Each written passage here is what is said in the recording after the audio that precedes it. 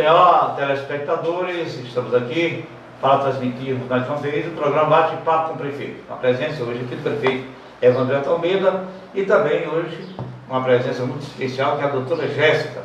O programa hoje ele será voltado também para essas questões da legalidade do município, nesse período em que o município declarou estado de calamidade pública em função do coronavírus, e essas explicações vai ser dadas pelo prefeito e também pela doutora Jéssica, porque é, a princípio, aqui quando é, a gente conversava em off, é de que muitas pessoas pensam que agora por diante o município vai gastar indiscriminadamente. Então, é, é, tanto Evander como a doutora Jéssica, que é a procuradora do município, irão esclarecer à sociedade como funciona, o que é o município em estado de calamidade pública. Então, o assunto vai se voltar mais para esse caso.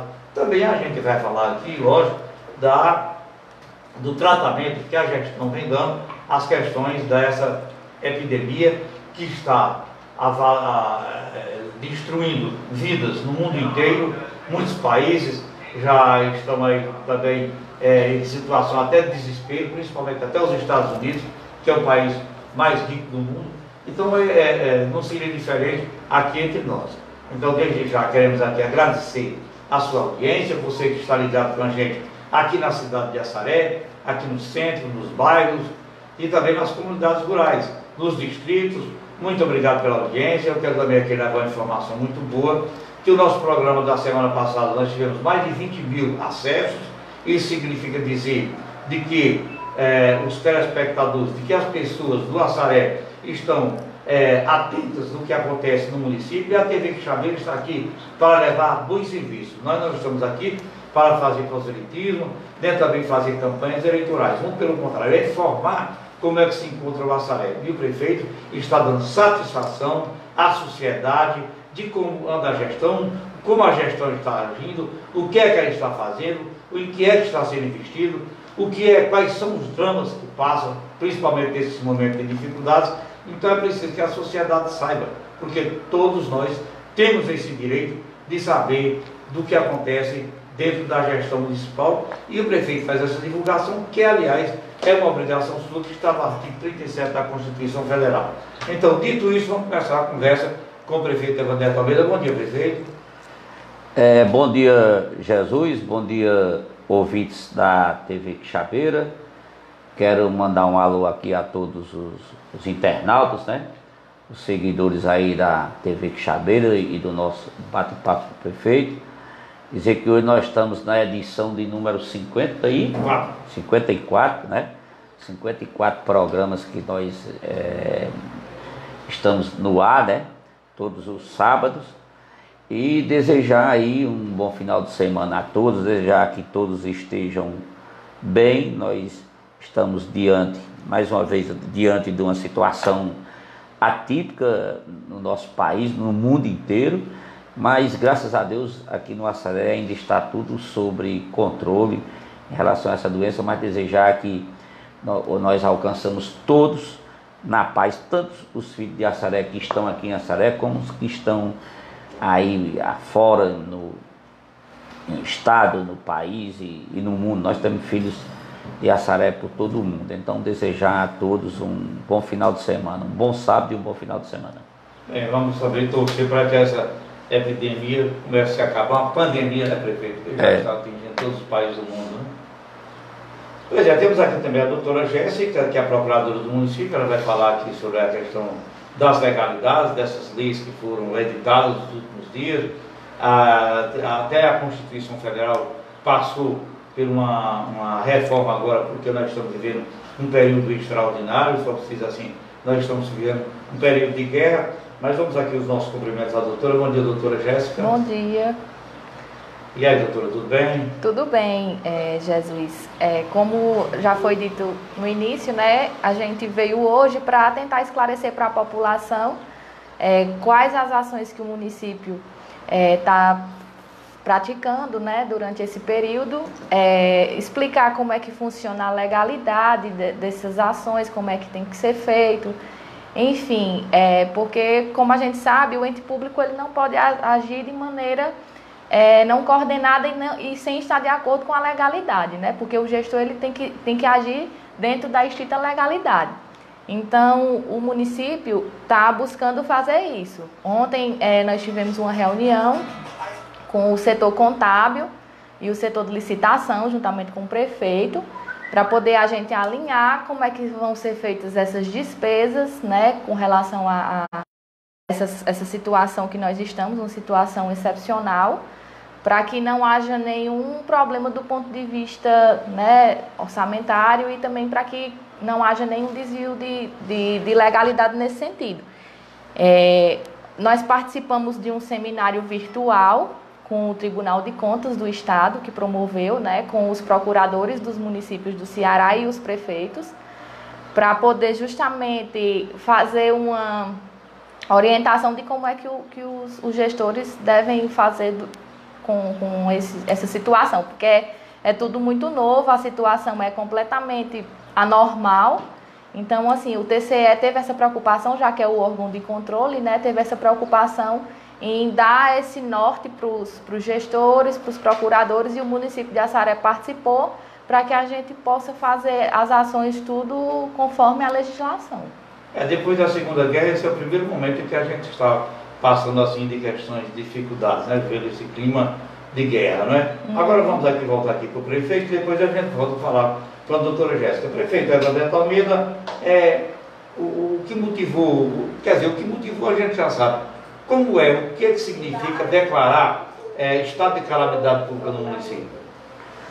Olha, é, Jesus, em outras situações que eu não era prefeito, eu lembro que decretava estado de calamidade pública aqui na nossa região por causa da seca.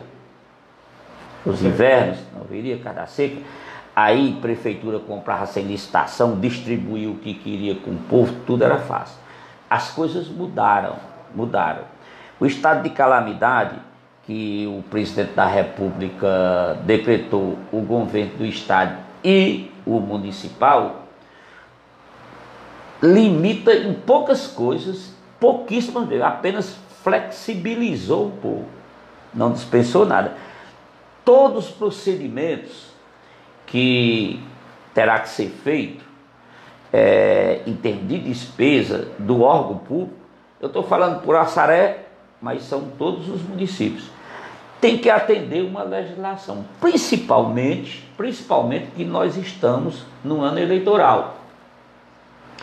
Tudo que o gestor fizer pode ser entendido como um crime eleitoral, apesar de uma situação de calamidade que nós estamos, como o nosso, município está decretado.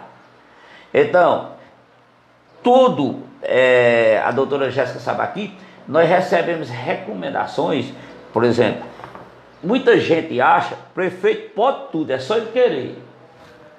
Não é bem assim.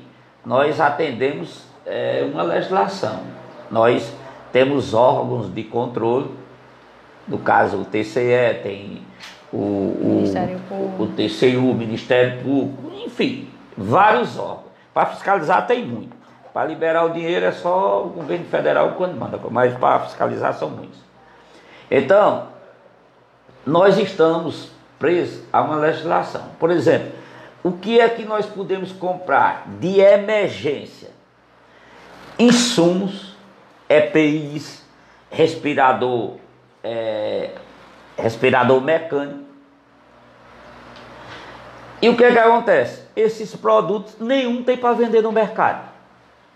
É a maior dificuldade, nós já adquirimos alguns, estamos atrás de outros para comprar, mesmo sem ter nenhum problema de legalidade, nós não estamos encontrando os equipamentos, que é uma demanda grande demais, procura demais, mas nós estamos é, tentando já adquirir alguns e tentando adquirir outros.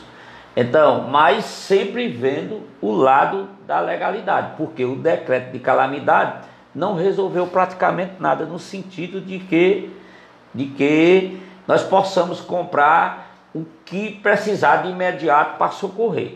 Eu quero saber se vai flexibilizar lá na frente se essa epidemia começar a apertar. Então, no momento, nós temos que fazer a nossa parte. decretar o estado de calamidade, manda-se para a Câmara Municipal, deixar tudo legal, porque você tem, você tem uma jurisprudência, ou você tem ali uma situação para você se defender, mostrar porque você fez aquilo. Porque quando vier isso ser julgado, é daqui a 4, 5 anos, o pessoal nem lembra mais de epidemia. Já tem outra situação que você já está focado mais na outra situação. Então, para isso, tudo tem que ser documentado em termos da coisa pública, tudo documentado e tudo legalizado. Por isso a dificuldade que nós estamos encontrando. É, doutora Jéssica, a, a, a, pelo menos assim, a compreensão inicial que existia de alguns setores da sociedade, até mesmo da imprensa, era de que, nesse momento, a lei de responsabilidade fiscal, ela regulasse. Quer dizer, que houvesse, é, é, vamos dizer assim, é, obscurecesse alguns itens da lei de responsabilidade fiscal. Então, o prefeito falou aqui da severidade que permanece. Então, o que, que mudou? Quer dizer que a lei permanece da mesma maneira? Na verdade, a lei de responsabilidade fiscal e a lei das licitações, elas permanecem em pleno vigor. Elas não foram em nenhum momento revogadas os termos dessas leis. O que houve, como o prefeito já falou, houve uma flexibilização dessa legislação, certo? Por exemplo, com relação à lei de responsabilidade fiscal, foi flexibilizado a questão do limite de gasto com pessoal, que é uma das diretrizes da lei de responsabilidade fiscal. Com relação à lei de licitações, foram é, flexibilizadas a questão de alguns prazos, justamente para poder o município ele poder agilizar processos licitatórios, por exemplo, para aquisição de EPIs, para aquisição de cestas básicas, enfim, esse tipo de qualquer tipo de serviço ou produto dessa situação que nós estamos, né? Vamos dar o, o exemplo do EPI, tem que ser precedido de um processo licitatório. Então, assim, a lei, de, a, a lei de licitação ela tem que ser seguida pelo órgão público, obrigatoriamente. O município não vai poder se furtar de obedecer às, às regras da lei. O que foi que o estado de calamidade fez? Ele diminuiu esses prazos para que o município possa fazer o processo licitatório de maneira mais célere, para poder atender as, aos anseios e às necessidades da população. Foi isso que, que, que a, a, o decreto de calamidade fez. Ele, ele deixou os prazos mais, mais flexíveis e alguns, alguns termos é, alguns prazos estão suspensos, mas são coisas mais internas, que é o prazo de prestação de contas, relatório de gestão fiscal, que são essas outras questões contábeis internas do município que também foram flexibilizadas nesse sentido. Mas os mais notáveis são essa questão dos prazos para as licitações e a, a, o, o, limite de gasto com o pessoal da lei de responsabilidade fiscal. Prefeita Vandera, o senhor se referia aos momentos de calamidade pública, questão de seca, né? É, mas eu lembro que, pelo menos naquela época, quando se declarava estado de calamidade pública, a primeira coisa que deixava de existir era licitações, que o município podia adquirir seus produtos sem a licitação. Quer dizer que agora, como a doutora falou e o senhor também falou, quer dizer que praticamente não mudou nada, apenas em questão de prazo. Olha, Jesus, a, a LRF, que é a Lei de Responsabilidade Fiscal, ela e mais o percentual de folha de pagamentos. Então, todo mundo é uma ânsia.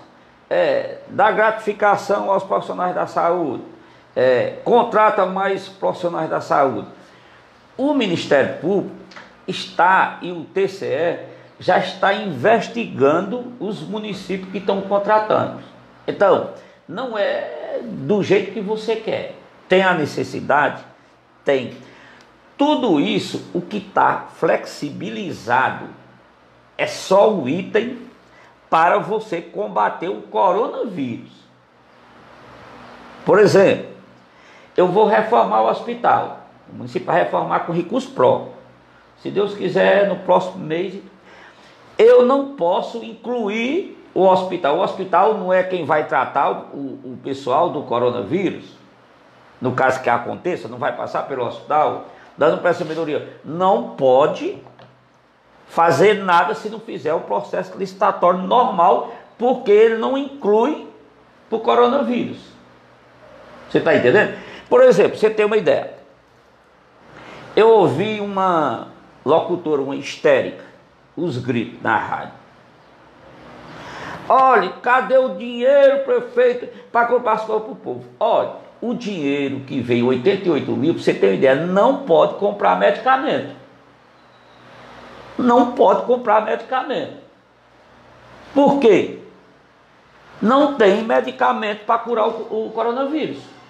O que é que pode ser comprado? Insumos, equipamentos que vá cuidar do coronavírus.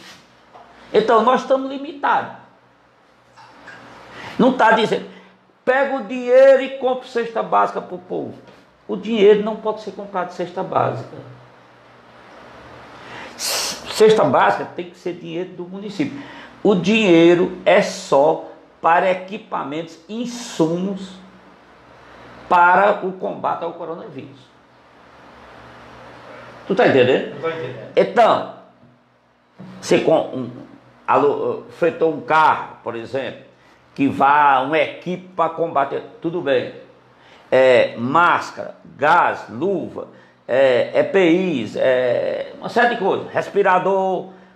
Ó, nós estamos atrás do, de um respirador, encontramos um em Fortaleza por R$ 43.500 usado. Consultamos, não aceita comprar usado, só novo. E aí? Nós estamos atrás. Tu está entendendo como é? O dinheiro está aí. Quem é que tem o produto? Então, os produtos. É, e outra, outra, você tem que ter um cuidado, doutora Jéssica sabe, de não haver superfaturamento. E como é que nós vamos se livrar do superfaturamento? Se quem não tem o produto e quem tem Vende só caro. quer vender por tanto. Ainda nós precisamos, é a lei da oferta pronto. e da procura. Por exemplo, vamos dar um exemplo aqui, um pouquinho, não tem nada a ver. Um litro de gasolina é 5 reais. Aí você está meia-noite numa estrada deserta no prego. Aí o cabo disse, eu levo uma gasolina aqui agora, só dou a 20 reais o litro. Se você tiver o dinheiro, você não compra? É verdade. Porque você resolveu sua situação, você está numa situação. Então é a mesma coisa. Então, é difícil falar, gritar, dizer é uma coisa, a realidade é outra. É, eu vi agora, mas prefeito não sei aonde deu não sei quantas cestas básicas. Olha, eu não estou preocupado com o prefeito, não sei de onde que deu, o que foi que ele fez, não. Eu estou sabendo que não posso no momento, porque eu não tenho legalidade. Eu só vou fazer dentro da legalidade. Entendeu como é? Então, por isso que um grita de um lado, eu não estou preocupado com grito. Estou preocupado com grito. Eu estou preocupado em dar assistência ao povo que não seja acometido e nem venha morrer em nosso município alguém por coronavírus. É, nós sabemos que o quadro está se desenhando para que isso aconteça.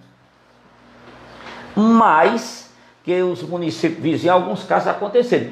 Mas que nós estamos fazendo o básico que nós podemos para dar assistência à população. Agora, alguém que está lá, não sei aonde, que não tem nada a ver, que tem interesses contrariados, interesses políticos, que aí eu chamo a atenção o que está acontecendo no nosso país. Numa epidemia que nós estamos, no lugar de estar todo mundo com as mãos dadas, lidando no mesmo sentido, que nós sabemos que não é fácil. Tanto o problema do vírus como o problema financeiro que o município, que o país se encontra. Aí começa uma politicagem lá de Brasília, do governo federal, passa para o estadual e passa para os municipais. Eu não estou dizendo que só no Massaré, não. Cada um querendo tirar proveito da situação. Ninguém está falando sério. Por quê? Me diga uma coisa. Ao invés de você estar gritando numa rádio, prefeito, mande fechar o comércio, as filas da caixa da, da lotérica, não sei de quê, não sei aonde estava aberto. Olha, é um dever e uma responsabilidade de todos os cidadãos, não é só do poder público, não. Porque todo mundo mora aqui tem sua família. Então, cabe a você que está cobrando do poder público, você ir também lá na rua. Você ser voluntário. Porque não é obrigação do município estar tá botando funcionário em porta de, de lotérica, não.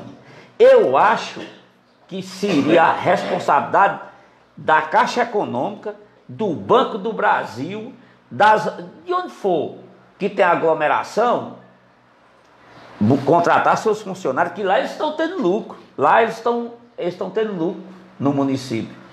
Lá eles contratam gente para organizar o, o, distanciamento social, mas cobra do poder público e cobra de uma forma é, é, totalmente errônea, certo? Só vê pelo lado político, politiqueiro. Então, vamos rasgar, rasgar, rasgar é, como é que se diz? Arregaçar as mangas e vamos para a luta. Aí outro diz, prefeito está lá no Canoas. Eu eu estou numa casa que eu tenho lá e com muito orgulho. Foi antes da prefeitura, desde 2000 que eu tenho lá. Porque eu estou atendendo também ao isolamento social, que eu também sou ser humano, eu também tenho família, eu também tenho meu pai com 96 anos. Então, vamos sair desse lado de discurso de fantasia, de populismo e de política e vamos, vamos regaçar as mangas e vamos trabalhar em prol da nossa sociedade, vamos dar a, a, nossa contribuição, ao invés de criticar, tudo bem, a crítica é válida, de, válida desde que ela seja construtiva, seja uma crítica com os pés no chão. Mas o que está havendo aqui em nosso município, que não é diferente dos outros, não é diferente do Estado, não é diferente do governo federal, é que é todo mundo cobrando do poder público, querendo tirar proveito e não quer fazer a sua parte. Com certeza. Você está entendendo como é? Então, nós precisamos, nós estamos numa guerra. Por exemplo, vem um município vizinho se apoderar do município de Assaré. Então, só quem tem as coisas no Assaré é o poder público. Todo mundo tem seu patrimônio, sua casa, seu carro. Então, Todo mundo tem que defender o que é seu. Não pode apenas delegar ou determinar que o poder público tem que resolver a situação. Não. Vamos fazer nossa parte, vamos pegar as armas, vamos lutar para que nós possamos vencer. Então, vamos arregaçar as mangas e vamos à luta. Vamos ajudar, vamos dar nossa contribuição. Que cesta básica não é o que resolve o problema, não. No momento, é um item. Necessita? Sim. Na hora certa vai chegar. Agora, nós precisamos é de ações para evitar que o coronavírus chegue, esse eh, coronavírus chegue em nosso município. Prefeito, agora, o, inclusive o município está fazendo, talvez, é, acima do limite, né? Ultrapassou o limite, porque está colocando seu pessoal em filas de banco, as equipes de endemias aí atuando direto, tanto na, na questão da borrefação, a questão da, do combate à dengue, como também na, na, na é, higienização dos pontos de aglomeração, não é isso? Então eu acho que nesse caso aí eu queria que senhor comentasse essa atuação da equipe da saúde e também de outras partes da gestão que estão aí é, na luta para combater a chegada do, desse vírus tão poderoso aqui no nosso município? Ó, oh, Jesus, eu vou aqui, tem três perguntas, vou tentar responder. Vou responder essa mais agressiva aqui. Tá, o tempo todo, fez uns Olha, comentários já. Rosália. A senhora Rosália Alves, ele não botou de onde é. Parque Vaquejada, segunda. Diz: Bom dia, cadê a cara do prefeito Evander? Bonito, né? Falar da calamidade pública e não ter vergonha na cara de distribuir girimum para as famílias carentes de Assaré. Pronto. Ela mesma faz a pergunta: que o dever do prefeito é estar na sua casa ou na prefeitura para atender a comunidade? Pronto. São dois assuntos diferentes. Primeiro, primeiro, vou responder para ela que primeiro o cidadão tem que ter respeito com as outras pessoas. Para poder a senhora ser respeitada, a senhora tem que respeitar as pessoas. Vergonha na cara é uma coisa muito pesada. Pode ter certeza que vergonha eu tenho. Não sei a senhora, mas eu tenho. Agora, dizer o seguinte: olha, essa distribuição é do Mesa Brasil. Agora, no final do ano, foi distribuído vários produtos do Mesa Brasil, ninguém reclamou. Então, são etapas que vêm. Se, como foi um girimum, podia ser um, um ovo de Páscoa, podia ser uma cesta básica ou qualquer outra coisa mais importante. Entendeu? Foi distribuído, porque isso é uma sequência. Você viu uma matéria que lá em Fortaleza, e são doações que, que o Fé Comércio é, está angariando e fica distribuindo para os municípios. Isso é um programa, Mesa Brasil. Não foi o prefeito, não. O prefeito é quando o município compra e distribui. e distribui. O município não comprou nada e nem distribuiu nada ainda, viu, dona Rosa? Tá certo? A senhora tem que ver o lado da realidade. Só, só viu uma coisa. Então, para mim, um girimum não vale nada, eu para mim vale, depende da situação. Tá certo? Pois isso é um programa do governo federal através da Fé Comércio no Mesa Brasil, que esse, já vieram vários, vários, eu não sei se a senhora recebeu, não sei nem quem é a senhora, tá? várias vezes já foi distribuído esse, esses, esses repasses que o, a Fé Comércio manda. Então, o que acontece? Passam para a Fé Comércio e ela passa para as entidades e, e, e no caso aqui é Instituto a secretaria de, é, através do Instituto Patativa não é, nem do município. não é do município. Não é nem pelo município nem passa pelo município. Tem nada a ver com o município. Apenas uma instituição, uma instituição chamada Canto do Patativa está recebendo essas doações e repassando. e repassando mas como o que eu falei há pouco tempo aqui atrás tudo aqui no nosso município estão levando para o lado político, talvez a senhora esteja levando. Mas, mas, ações já foram feitas. Nós temos que fazer ações de combater o coronavírus. É uma calamidade. Agora, eu não sou médico e nem sou Deus para livrar. Estou fazendo a minha parte. E a senhora continua. Que é um dever do prefeito estar na prefeitura para atender a comunidade. Olha, talvez a senhora seja uma pessoa mal informada. Tem decretos aí que é o isolamento total. Então, se eu, como prefeito, que atendo a um decreto que vem do governo federal, do estadual e faço municipal, determinando que as repartições públicas, que existe o isolamento social, que as, as pessoas não podem estar circulando tal. E eu mesmo estou funcionando na minha casa, uma fila de gente, dando, dando feira, festa básica. A prefeitura aberta as filas de pessoas, então o que é que serve o decreto? A senhora tem que ver os dois lados, a senhora está vendo um lado. Você está entendendo? Então, espero que eu tenha respondido para a senhora. Então, eu não posso estar na minha casa e nem na prefeitura, porque eu estou no isolamento social igual a senhora devia estar. Não sei se está ou não está. Então a senhora precisa se informar melhor das coisas para poder fazer algumas críticas. Inclusive, eu vi ontem, não sei se foi com a senhora, não sei que, não estou o nome da pessoa, uma entrevista com uma equipe do Assaré Online. Igual a senhora está dizendo. Eu acho que foi a senhora que a senhora disse. Prefeito, tenha vergonha na cara está distribuindo Jerimum. Mas essa mesma equipe, por que, que ela não foi lá nos bairros da cidade onde os agentes de edemias estavam fazendo uma detetização, pulverização de rua em rua, de, de logrador em logrador? Por que, que não foi lá na entrada que vem, depois do anel viário, onde, onde tinha uma equipe do Demutran com o pessoal da, ação, da assistência social, da Secretaria de Saúde, da Secretaria de Saúde e Educação. É, parando e orientando. é, diferentemente do que uma rádio disse um dia desse, uma locutora, nós, a partir de amanhã, nem entra e nem sai de Assaré. Ninguém tem o direito de proibir o livre trânsito de ida e vinda das pessoas. Existe uma lei, existe o um decreto e a consciência de cada um.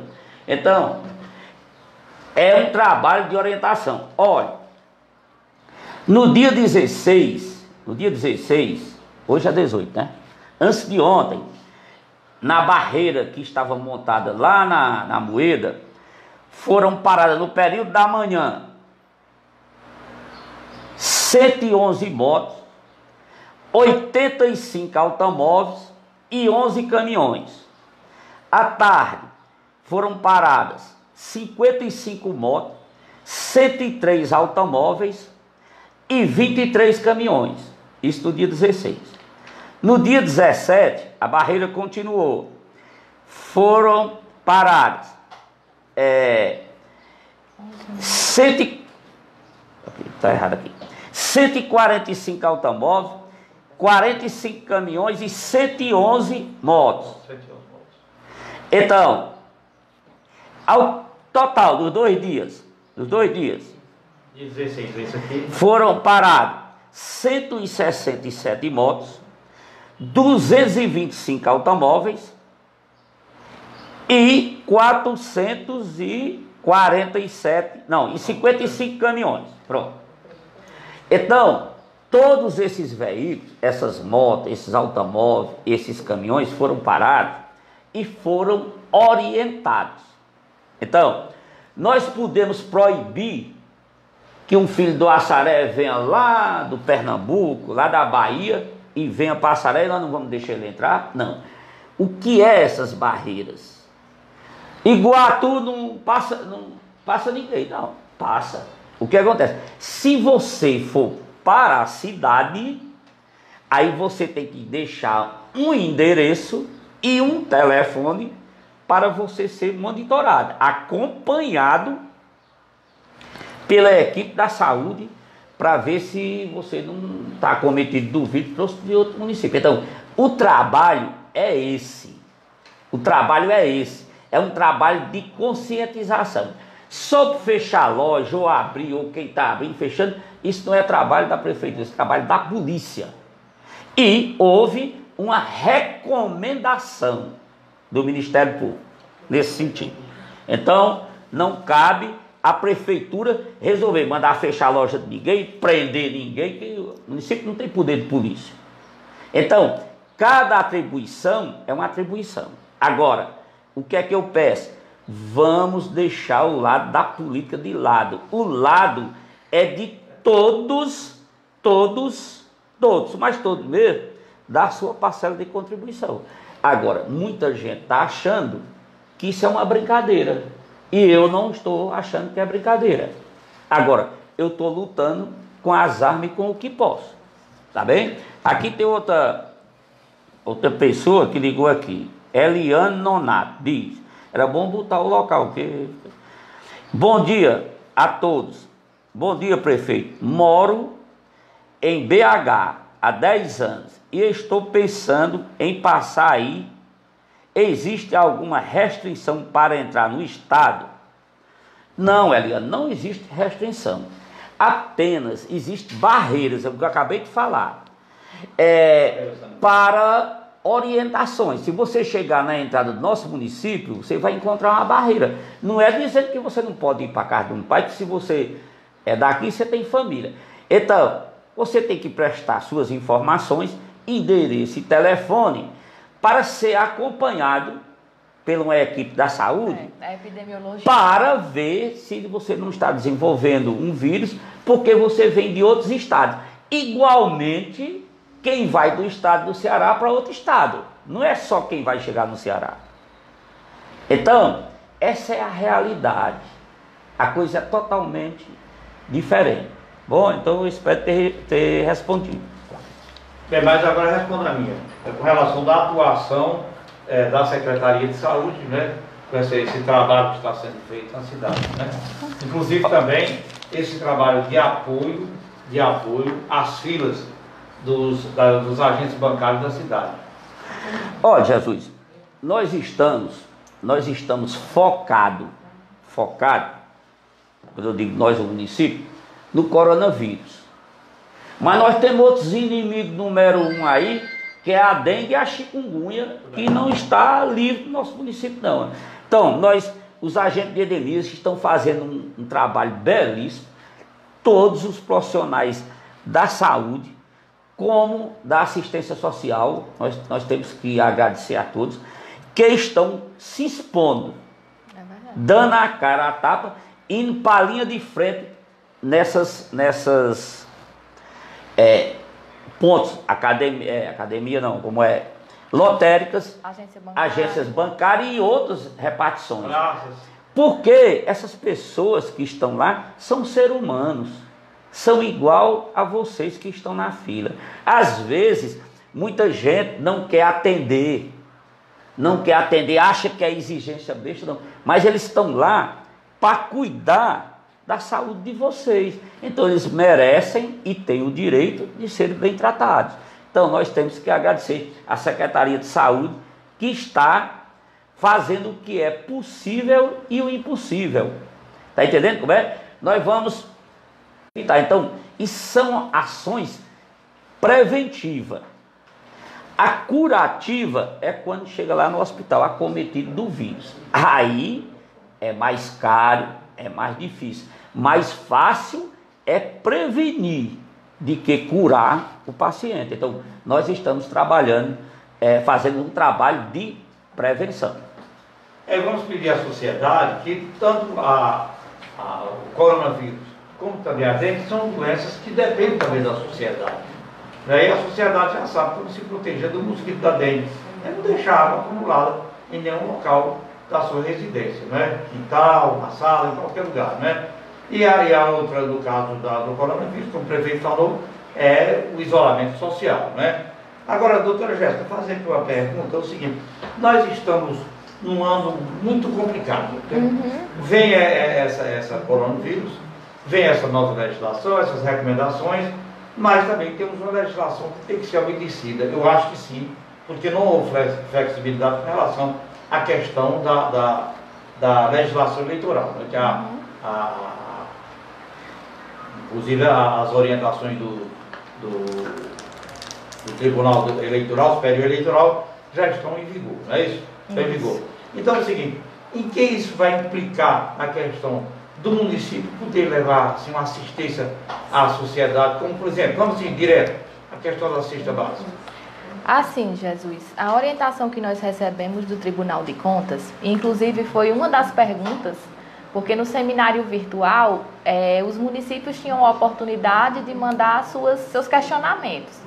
O técnico do Tribunal de Contas, é, ele deixou, fez esse esclarecimento, dizendo com relação a isso né, do temor de, de obedecer à legislação eleitoral. Então, o que foi que o técnico do, do TCE disse? Que o município já tem seus, seus, seus órgãos de, de, de ações, nós temos a Secretaria de Assistência, entendeu? Nós temos a Secretaria de Saúde, que já fazem esse tipo de trabalho, principalmente a assistência, já faz esse trabalho assistencial, já existe a distribuição de cestas básicas, independente de coronavírus ou não. O que vai ser feito agora pelo município é uma intensificação desse trabalho, porque nós estamos numa situação anormal, uma situação completamente diferente. Então, o que foi que o TCE falou? Que o gestor ele tem que se respaldar de todo tipo de justificativa legal para que posteriormente ele não possa ser punido pela legislação eleitoral, para não, não, não incorrer numa prática vedada. Entendeu? Então, o que é que acontece? O município, através da Secretaria de Assistência, é quem vai fornecer esses dados dessas famílias que, estão, que já estão em situação de vulnerabilidade, que já são, já são atendidas pela assistência porque o município nós já temos uma legislação para atender essas pessoas que são a, que é a lei de benefícios eventuais, que já são esses benefícios, já são cestas básicas que já são fornecidas para a população através da Secretaria de Assistência. Então, é, o TCE orientou que o município apenas vai dar continu, continuidade a um trabalho que vem sendo feito pela assistência. Só que agora só vai ter que ser intensificado e que o gestor tenha mais cuidado para seguir a legislação de maneira correta, justificar as ações, utilizar os parâmetros, os critérios que são utilizados pela assistência para fazer essa distribuição. É, doutora, eu fiz essa pergunta aqui porque é, é, é, eu conheço política, há 46 anos eu estou dentro de política, participando de política partidária. Agora como jornalista, eu mesmo como político, como candidato, como já fui tudo, né? Uhum. Mas eu, porque é o seguinte, a, as oposições sempre elas fazem o seguinte, pressiona para que você faça uma determinada coisa, tá entendendo? Uhum. Sabendo que é errada, para depois ela mesmo denunciar. Exato. Isso aí é uma verdade, é uma coisa que eu estou dizendo que ocorre todos os dias. E nesses 45 anos que eu trabalho em política, trabalhei aqui no Rio de Janeiro, que me acompanha, eu sei que isso acontece em todo canto. É, então, por isso é que eu fiz essa pergunta. Quer dizer que o município do Assaré, no caso do Assaré, por exemplo, que tudo aqui é documentado, né? Isso. Toda a distribuição é documentada, a Secretaria de Assistência Social, ali, esse trabalho todo que é feito ali. Então, quer dizer que não vai ter problema. O problema que está existindo, agora eu vou perguntar ao prefeito, é a falta de dinheiro, né, prefeito? Como é? eu digo, bem, já que o município vai poder fazer alguns tipos de doações, porque existe uma legislação, e já sem vem sendo feito, eu estou dizendo que para intensificar essas ações, como a doutora Jéssica falou, só está faltando uma coisa agora, dinheiro, né?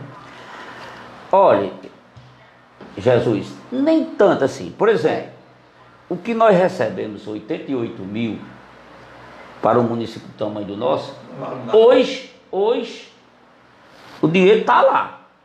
Nós gastamos muito pouco. Mas nós não sabemos quando, quando começar essa epidemia vier forte, o que é que nós vamos precisar, entendeu como é?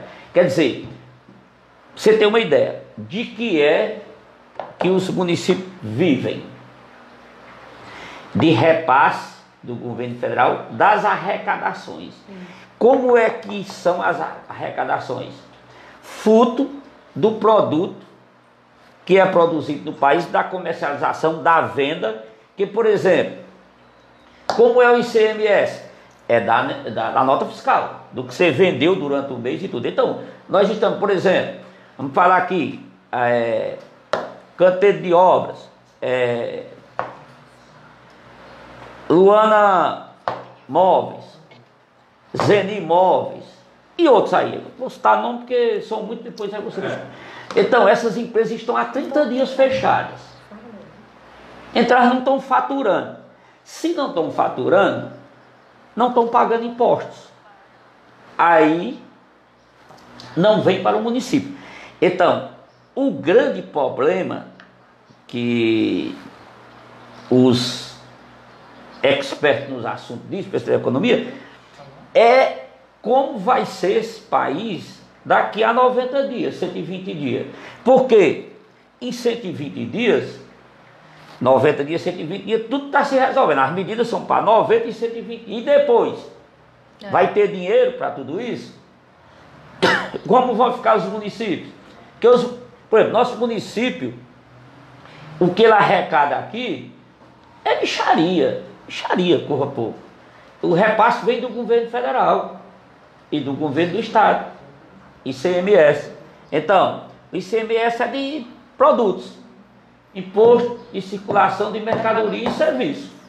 Então, é duas coisas que não está tendo, nem circulação de mercadoria nem de serviço. Que é o que é que está vendendo aí? O supermercado, as farmácias. O resto está tudo sem vender. Então, é a dificuldade financeira que nós vamos ter a partir do mês. Esse, nós recebemos no último repasse nosso, a previsão é que o ICMS chegue a, a, a 30% do que a gente recebia. Entendeu? Então, você tem uma ideia. Olha, o pessoal, você vê aí, muita gente, cadê prefeito? Vai deixar o povo morrendo de fome? Vai deixar. Ó, nós recebemos orientações e estamos acompanhando o que os governos mandam, tanto federal como estadual. Por exemplo, por exemplo, se você perguntar, ei prefeito, então você acha que não tem que dar bolsa, é, cesta básica à população não? Ó, veja bem, O povo não precisa. Você está numa boa, o povo pobre. Olha, todos nós precisamos. Mas para você ter uma ideia, você ter uma ideia, o governo federal mandou 600 reais para um e 1.200 para outro durante 90 dias, é justamente para fazer face a essas despesas, para as pessoas que não estão podendo trabalhar ou que porventura perderam o emprego. Entendeu? Perderam o emprego, ter algo em sua casa. Olha, você tem uma ideia. Você tem uma ideia. Olha, é, até ontem, até ontem, só o pessoal que são cadastrados, ó, 963 famílias, que umas receberam 600 reais, certo? E outras que receberam 1.200, entrou, entrou, entrou na casa, na casa aqui de Assaré, aqui do nosso município, na casa do, dos pobres, sabe quanto? 4 milhões 429.300 reais. Então, esse povo recebeu esse dinheiro, que era extra. Então, isso resolve o problema, prefeito? 600 e 1.200? Eu tenho certeza que não. Mas é uma ajuda social que o governo federal, que o governo federal está dando às famílias pobres, que se tiver algum rico recebendo, está ilegal. Famílias pobres. Então, entrou até ontem, até ontem, já foi pagar aqui no Assaré, não é no estado não, aqui no Assaré. 4 milhões 429 mil 300. E falta ainda o CAD, falta dois, que vai ser a partir do dia 27, que vai entrar mais, mais de 3 milhões. Então, no município, no município, isso aqui foi só do Bolsa Família. No município deve entrar esse mês mais de 7 milhões extra para as famílias carentes. É para essas famílias permanecerem em casa, no isolamento. Aí alguém pode dizer, ah, o prefeito estava lá dizendo que o povo não precisa. Precisa. Então, o que é que nós estamos preparando, eu como prefeito?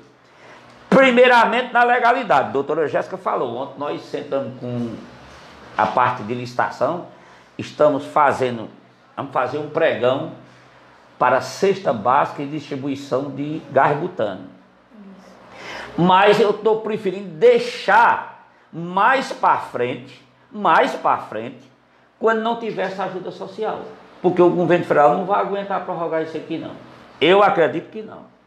Então, nós vamos fazer a parte, a parte, a parte legal, vamos licitar.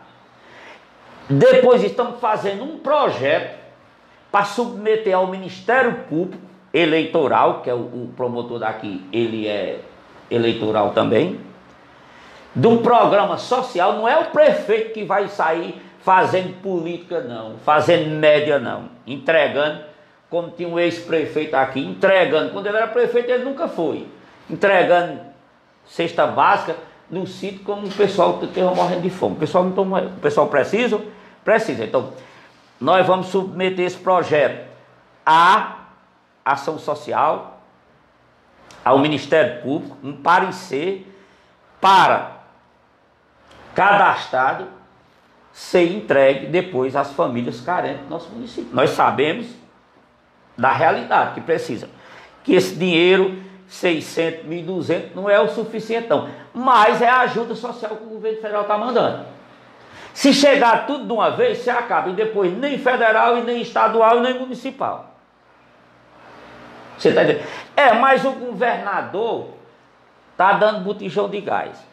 Ele está dando, ele não é candidato, ele não é candidato esse ano. Agora, quem é, responde pelo crime eleitoral. E eu não vou responder isso aí, não. Tá certo? Nós estamos fazendo legalmente, nós vamos mandar para o Ministério Público, sendo aprovado, aí depois o município está fazendo essas ações. Aí o pessoal, é, um dia eu tá, prefeito, porque você não manda distribuir a merenda escolar para o povo que está passando fome? Olha, a merenda escolar é um recurso do governo federal e do FNDE é complicado. Aí veio a autorização. Nós juntamos aí, compramos outra, acho que fez em torno de 500 a 600 cestas básicas. Mas sabe para quem é que é para entregar? Aos alunos da rede pública municipal mais carente. É claro que não vai para todos. Nós temos quase 4 mil alunos. Aí tem 600 cestas básicas. Tem que. Qual foi a determinação? Que a direção das escolas veja qual, quais os alunos mais carentes e que aquela cesta merenda escolar vá para aquele aluno merendar lá na casa dele. Como ele não está indo para a escola, vá ser lá para a casa dele. Agora, não, mas você podia dar a todo mundo. Não sou eu não, eu recebo determinações. É o FNDE, foi elaborado, foi elaborado uma cartilha passo a passo como era que, esse, que, essa, que essa, isso aí era para ser defendido, para ser distribuído. Na ação social nós nunca deixamos de atender pessoas carentes. Agora, tudo de uma forma legal. Mas é todo mundo fazendo média em emissora de rádio, tem duas rádios aí batendo, uma bate, outra bate, outra bate, outra bate. Eu não estou preocupado com um batido de rádio, não. Estou preocupado em fazer o que é certo e legal.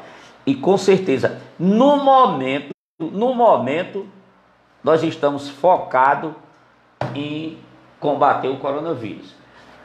A cesta básica virá depois, o gás butano virá, porque no momento, no momento, o governo federal está dando ajuda social.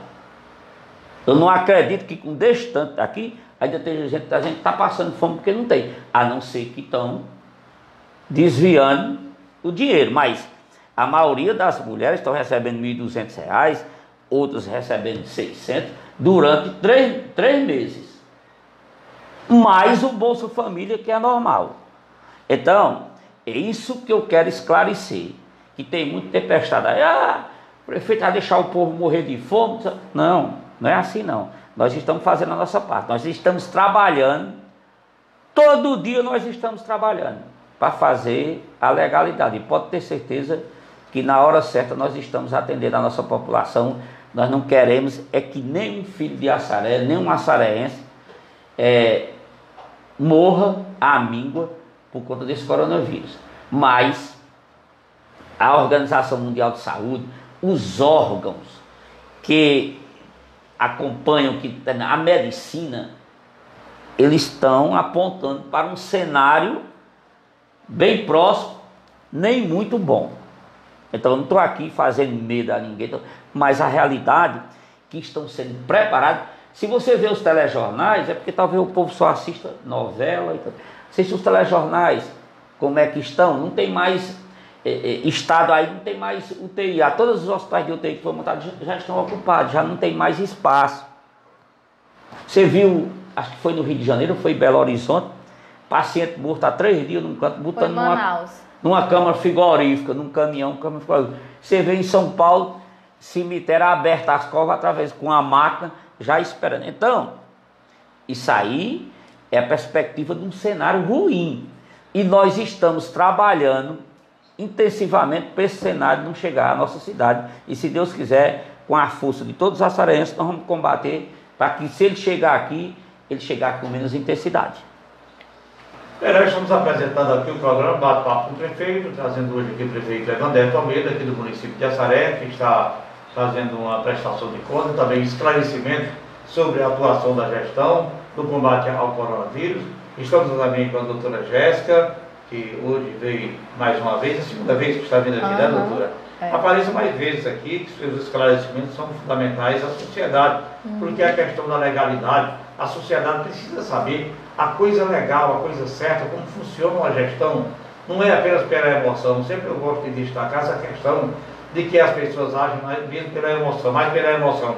E eu estava dizendo E que só uma, uma coisa, Jesus, só te interrompendo que é, o que a gente está tentando fazer, o município, é que a gente possa fazer ações a longo prazo, que a gente não pense no imediatismo de agora, de fazer tudo de uma vez e que futuramente a longo prazo a, a população fique é, desassistida. É isso que a gente quer fazer, a gente quer utilizar os recursos de maneira racional, de maneira organizada. É, é isso que a gente tenta é, ver que a população tem, possa entender que o, as ações estão sendo estão sendo feitas, o município está funcionando, por mais que a gente não esteja aberto atendendo ao público, nós estamos trabalhando todos os dias, todos os setores estão tentando fazer o possível.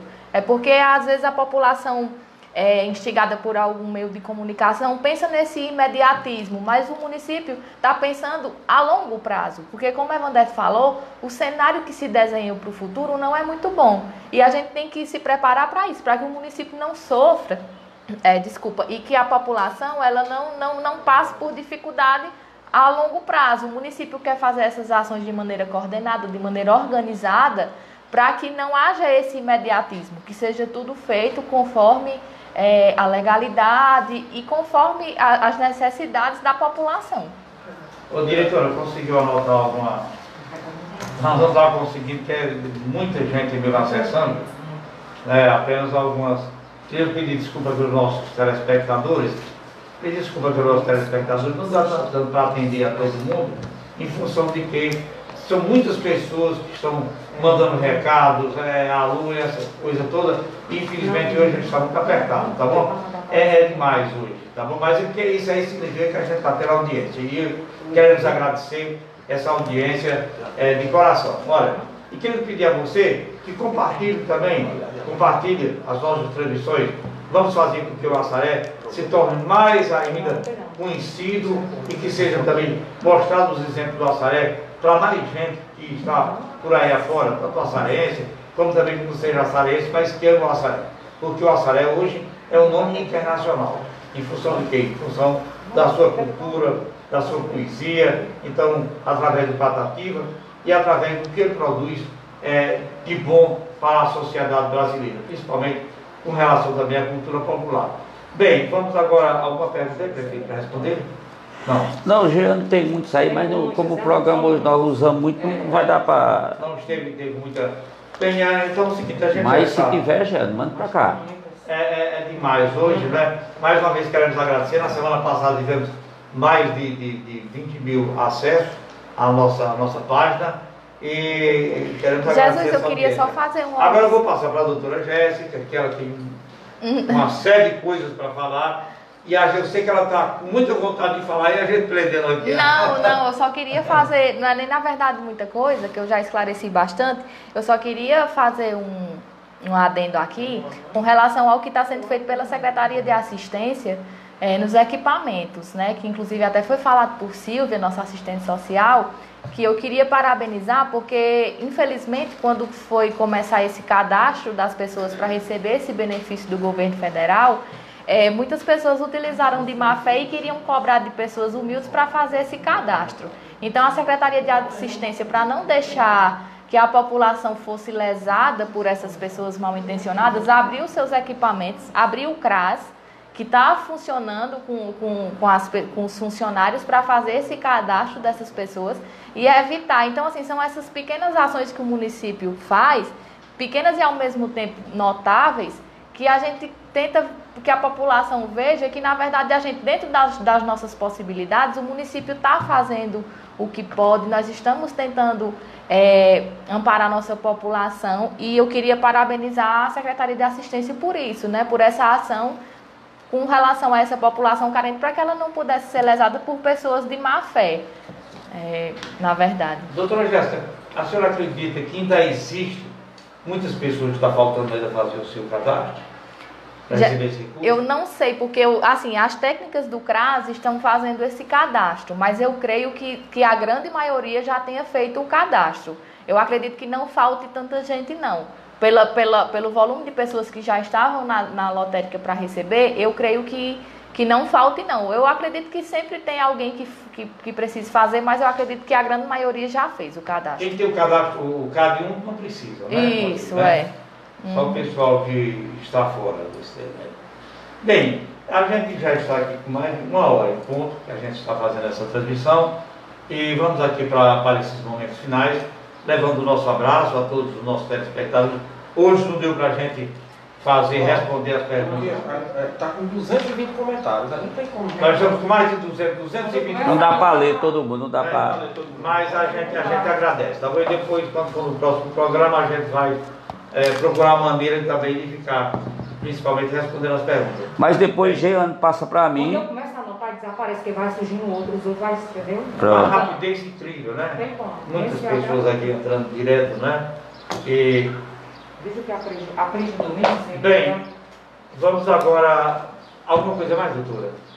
Não, só isso, só agradecer a oportunidade de poder esclarecer essa questão legal, essa questão de procedimento, como é que o município tem que fazer e nos colocar à disposição da, da sociedade, o que alguém precisar de tirar alguma dúvida, algum questionamento, a gente está sempre à disposição. Pronto, quer dizer que a Procuradoria não está de folga. É, eu não tô tra- a gente não está trabalhando é, físico né, no, no- na, na prefeitura, mas eu estou fazendo home office, né? Digamos assim. É trabalhando em É, casa. agora até os bebés estão atendendo a É, piscina. aí eu tô. Mas a gente está trabalhando, mesmo que no isolamento É, social, mas, mas a gente é, está toda a prefeitura está, está, totalmente está trabalhando. Nós estamos aqui, todo mundo está todo mundo nessa, nessa, é, lá fazendo as suas tarefas em casa. Prefeito Evandro Toledo, o que, que temos para acrescentar aí? Alguns detalhes mais, alguns esclarecimentos?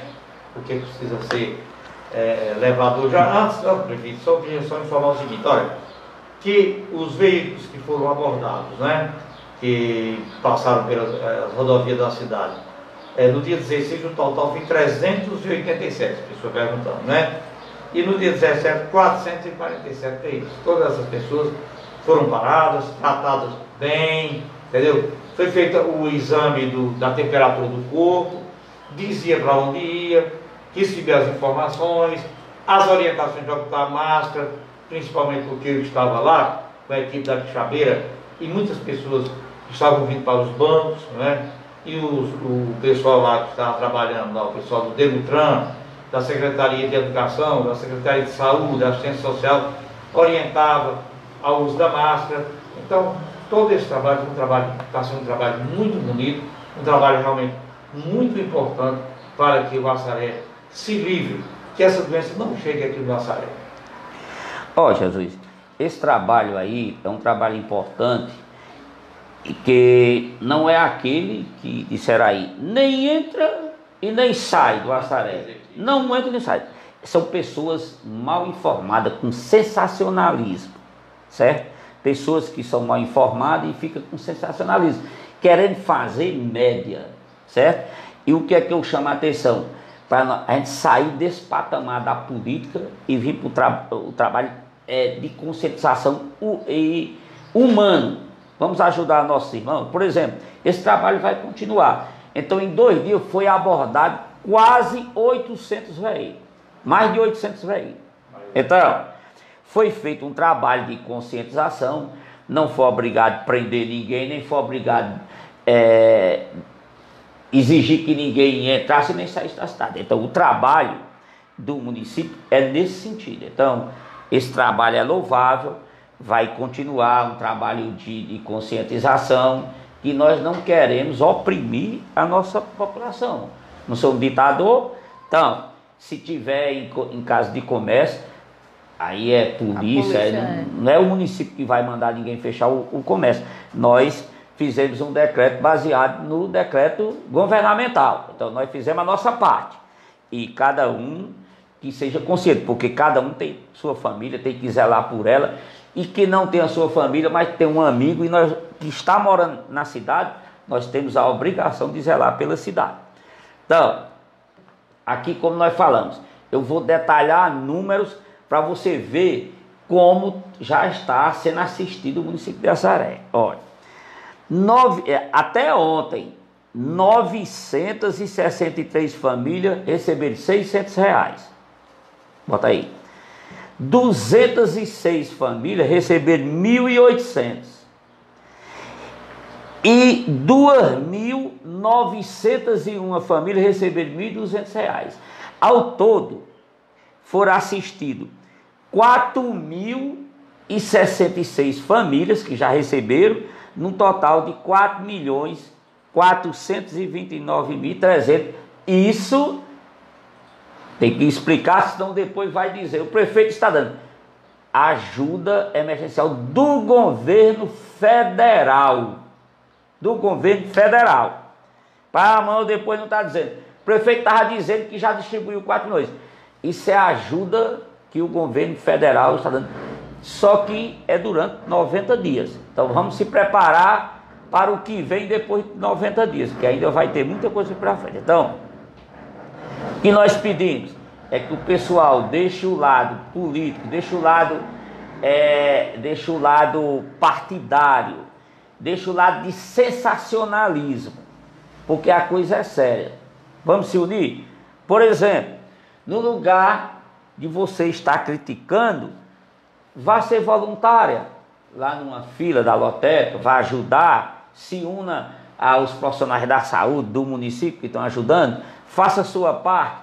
Se você não pode ajudar financeiramente, se você pode, tem mais, dê 10 feira a uma, a uma pessoa aí, tal, as pessoas carentes que você acha, mas sempre se você quiser saber quem recebeu, procure a ação social que nós temos nome por nome das pessoas que receberam. Então, até ontem 4.066 pessoas receberam 4 milhões, em média, em média, mais de mil reais por pessoa.